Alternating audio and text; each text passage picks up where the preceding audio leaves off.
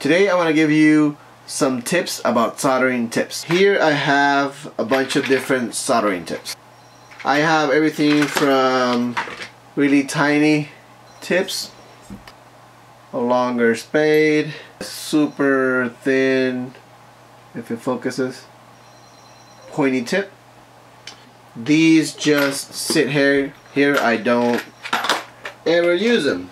I do just about all my mini quad building with two tips and they are both flat screwdriver tips.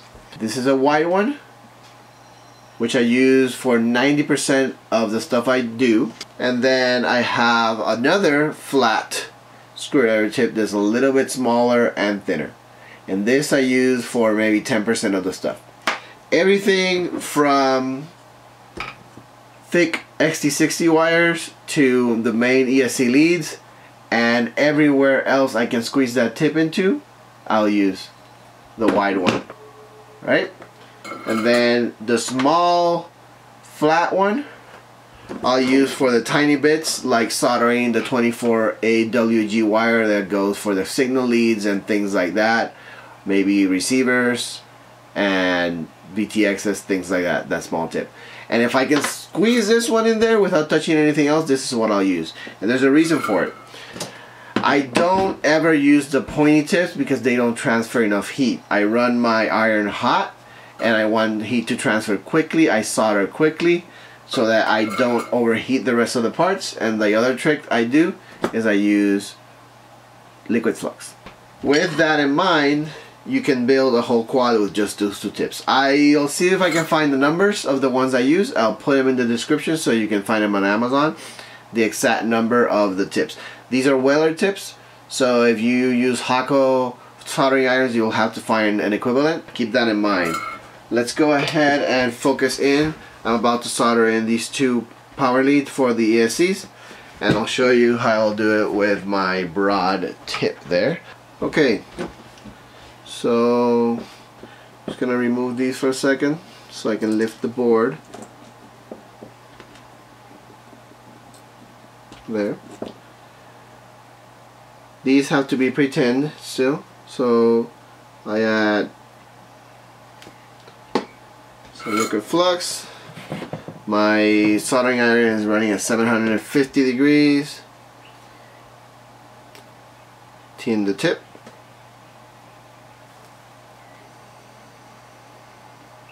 There's one.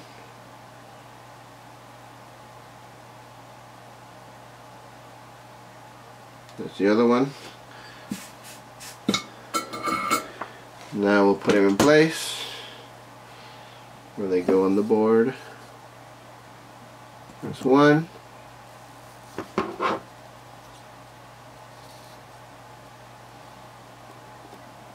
There's the other one. I'm going to go ahead and pin it down so they land where I want them. That's good. I'm going to hold the board down.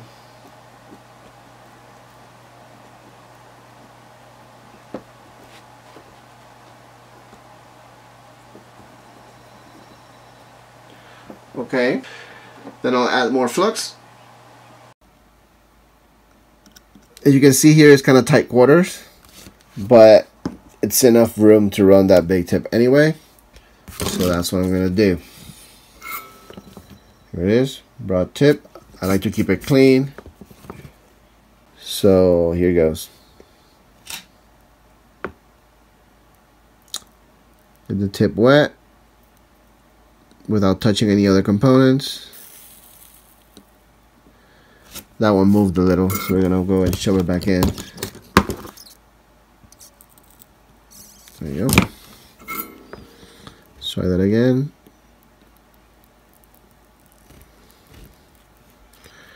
Work kind of fast. You don't want to keep the iron on there too long. That's one. And there's the other one.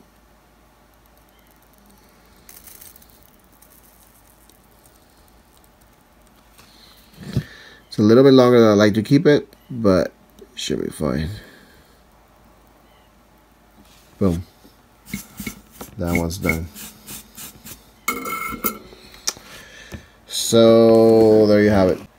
And then the narrow tip.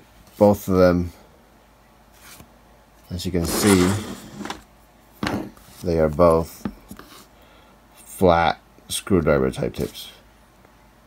Show you the difference.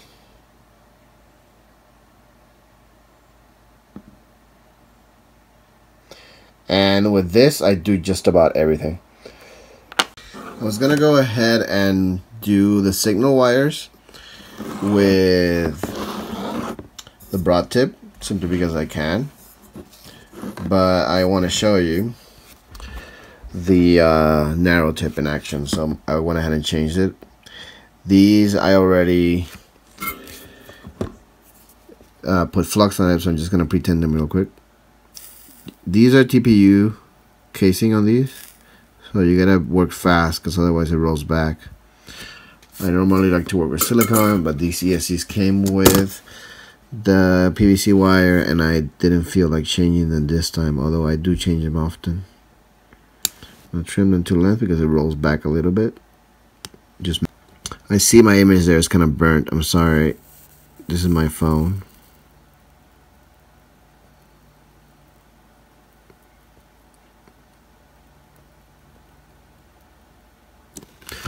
So I feel I did a much better job at placing the wires on this side. So I'm gonna go ahead and do the demo on this side. As you can see the white one protrudes just a bit. The black one's barely protruding but it is there. Trust me. I decided not to clamp it down because it's definitely put. So I'm just adding some liquid flux. Again I'm gonna use my narrow spade for this one. Maybe it's not a spade, just a flat screwdriver head, screwdriver tip and let me see if I can work around my phone here which is the camera and we're gonna the important thing is to put some flux on the tip of your solder uh, soldering tip because it transfer heat quickly and that combined with the liquid flux really helps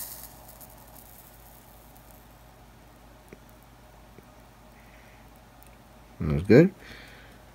Let it cool. And clean my soldering tip. And we do the next one. Solder